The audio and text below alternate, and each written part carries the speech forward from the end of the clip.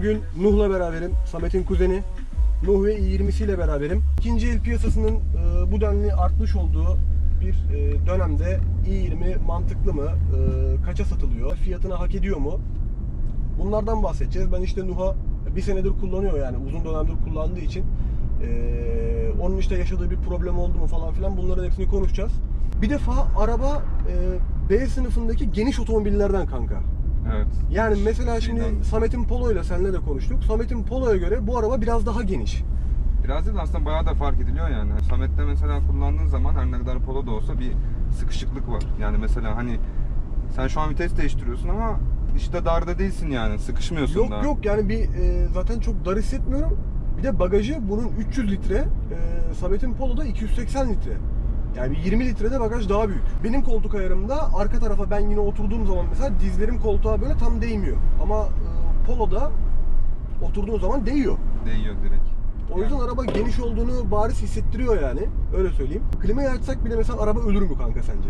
Klimayı açarsan şimdi şör yani tek kişiyken iki kişiyken ölmüyor. Ama 4, 5, 3'ten yukarısı hissettiriyor. Hele bayırlarda falan tamamen artık araba diyor ki "Ya boğuluyorum yani. Vites 3, 2 yani anca çıkabiliyorsun. Tabii bu anlattığım eğimler %8 yani %6, %6'nın aşağısında fazla sıkıntı yaşamazsın ama %6'nın üstünde direktmen sıkıntı yapıyor. Araba çekmemeye başlıyor. Hem da 1-2 niye motor kardeşim? olduğu için Aynen öyle. 1-2 motor ve atmosferik arkadaşlar. Aynen. Turbo yok arabada. Ee, öyle olduğu için e, biraz performans konusunda eksikleri var. Biraz değil hatta Nuh'a göre bayağı var. Yani bana göre bayağı var. uzun yolda sollama falan filan çıkacağım zaman bir düşünüyorsun değil mi kanki? Tabii. Ya anca hızlıysan yani hani korkmuyorsan yani artık araba tamam bu saatten sonra gider diyorsan sıkıntı yok. Devrini Ama mi alması lazım? bayırda direkt devir yakalaman lazım. Yani devir 2000 altına düştüğü zaman maalesef ki araba artık beni boyuyor Mesela, mesela. şimdi dördüncü vitesteyiz arkadaşlar. Sen Şu an, çıkılmaz. şu an gitmiyor mesela. Gitgide hız düşüyor. Ama dördüyle çıkardın yani. Bıraksan yine çıkardın. Ya pek kanka sanki böyle çıkmayacakmış. Çıkardı ama. Ya da, İstiyorsan dene. ya da mesela şu an At. 3'te dip gaz yaptım mesela 40, 41, 42. Yer yani. Ya işte küçük olduğunu motorun her türlü hissediyorsun. Tabii. 1.4 dizellerde şu avantajım var. Bu araba normalde 5 vites ama dizellerde 6 vites.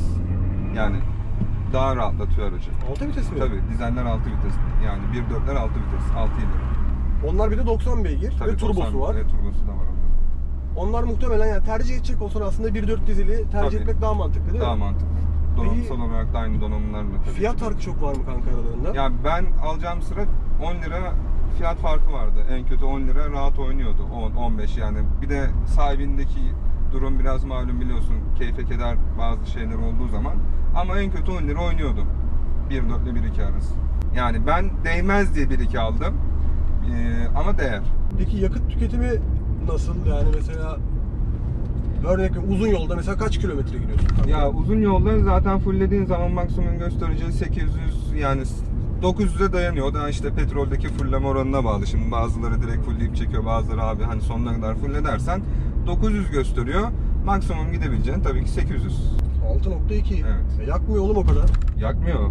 Ben yak ki, hele ki senin kullanımına göre ben yakıyorum işte yani. Benim var ya maksimum bak bu arabayı sen kullanma Samet'e verelim.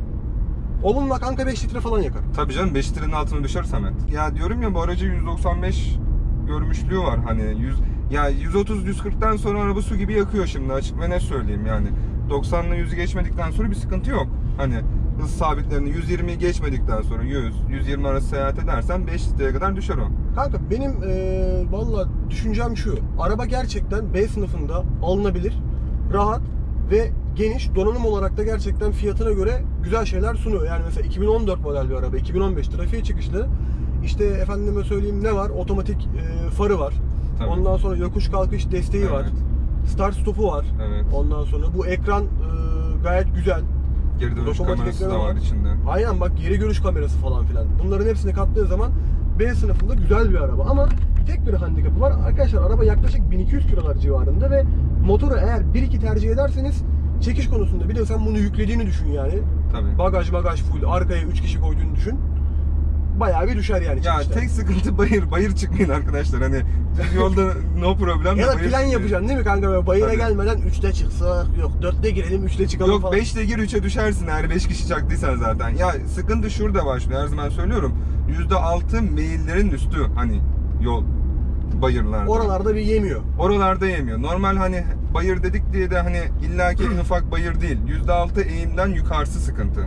Frenler benim hoşuma gitti. Ee, frenleri arabanın güzel. Ee, yani fren pedal hissi güzel daha doğrusu. Fren kuvvetine bakmadım. Arkamız şu an müsait gibi. O gayet de güzel çakıyor mesela. Tabii. Bastığın ABS zaman- olduğu için direkt şey yapıyor kendini. Ama bir de şöyle bir şey var. Ben bu aracı aldığımda 6 yaşındaydı ve araç hani dediğim gibi çok fazla kullanılmamıştı ama sadece araç yatmıştı.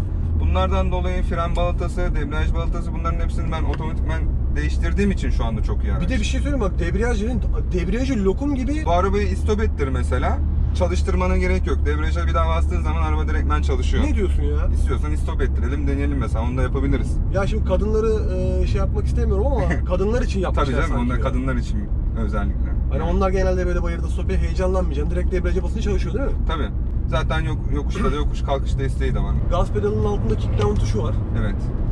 Ona bastığın zaman herhalde artık ne var ne yok Allah ne verdi gidiyor herhalde. Tabii canım o artık hani diyor ona da basarsan diyor ki tamam o zaman sen hani benim son şeyimi yapmamı istiyorsun demek ki.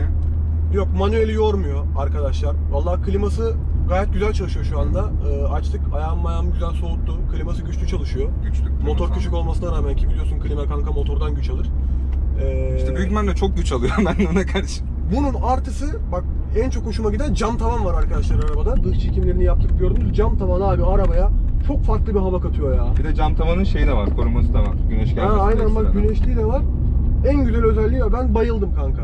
Cam tabii. Rengi de çok güzel. Rengi de Arabanın çok güzel. kozmetik olarak hiçbir eksiği yok. Yani i20 bu kasayla zaten gönülleri fethetti. Bir sürü insan bu arabanın dış görüntüsünü çok seviyor. Ya Dışı artı içi mesela. Onu da söylüyorum Şurada bir çünkü. süspansiyon testi yapalım. Bakalım nasıl Yapalım. geçecek buradan. Yok süspansiyonlar da güzel. Bir de ben Gerçekten rahat. çok B sınıfında Ulan gerek yok ya aslında kanka Volkswagen'e o kadar para, para Yok, vermeye yok. gerek yok gibime geldi benim ya. Gerek yok. Yani veriyorsan C sınıfına gitmen lazım. B sınıfı için illa Volkswagen şey olsun değil yani. Değil mi? Aynısını yapıyor. Ve yani inan daha rahat yapıyor yani. Ve daha konforlu oluyorsun. Hani bu arabanın benim tek yani üzen tarafı Motor. motor. Yani benim istediğim performansı bana vermiyor. Yoksa ben bu arabayı yani öpüp başıma her zaman koyarım ve seviyorum da. Arkadaşlar böyle hızla mızla hiç yani daha doğrusu performansla alakalı kafanızda çok bir soru işareti yoktur tamam mı? Ondan sonra yani soru işareti dediğim çok yani sıkıntı yok abi araba gitsin beni gideceğim yere götürsün diyorsanız yine alabilirler aslında. Tabii. Ya şey şehir içi arabası ya. Hani benim İstanbul gibi yerde olacağım. Trafikte her zaman işim var diyorsan. Ya da burada ikiye alalım. At 3'e.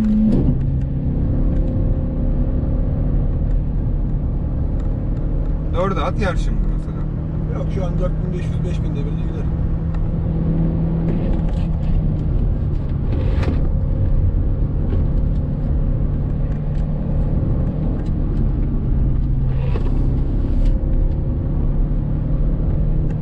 Bunu devirli kullanacaksın ya. Bunu devirli kullanacaksın. Bunun başka türlü çaresi yok.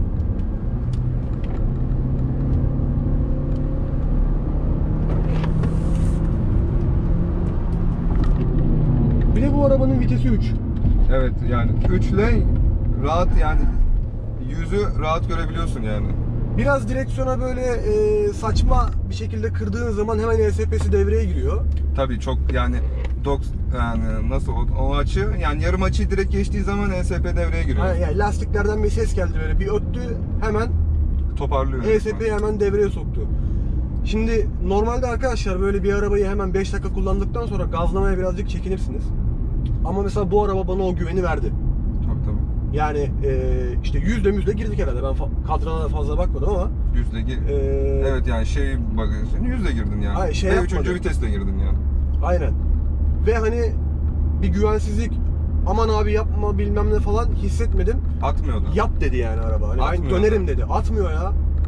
En Güzel. son e, şey çıkışı ESP devreye girdi. Onda da zaten açıyı değiştirdi. Onu da bilerek yaptım ben. Bakayım ESP girecek mi diye denedim. Hep denerim ben öyle. Ve e, tam zamanında ufak bir de böyle arkadaşlar ESP böyle zbomb diye girmiyor. böyle e, kontrollü bir şekilde, soft bir şekilde giriyor.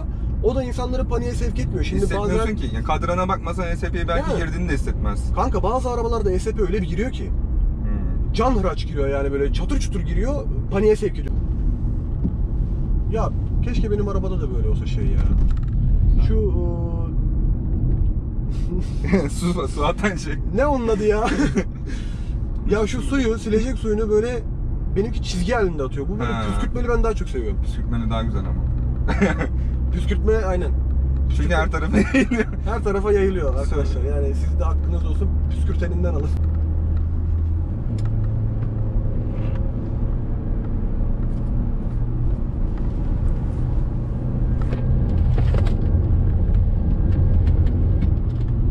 Ee, yol tutuş gayet güzel. Araba savrulmadı bile 80 ile falan döndük. Bir de lastiklerin de faydası var. Bir önceki lastik olsaydı şu an ESP çoktan hepsinde devreye girmişti. Ne var lastik şu an Şu an üstünde? Michelin var. Ve yeni değil mi? Yeni bir ay önce ve 2020 çıkışlı. Çok Michelin. belli oluyor biliyor musun? Yani yeni ve kaliteli bir lastik olduğu arabada çok belli oluyor. Yani şu an sadece bir kere ESP'yi devreye sokabildim. Ve Onda da bilerek abarttık yani. tabii canım orada artık zaten tam kırdın nereden baksan direksiyonu. Valla bir özet geçecek olursak arkadaşlar bence e, i20 alacaksanız eğer aklınızda var. Yani B sınıfı bir otomobil alacaksanız bunların içerisinde Volkswagen'e paranız yetmiyorsa i20 kesinlikle bakabilirsiniz. Ben Kia Rio kullanmıştım. Kia'dan kat kat daha iyi e, hissettiriyor bana.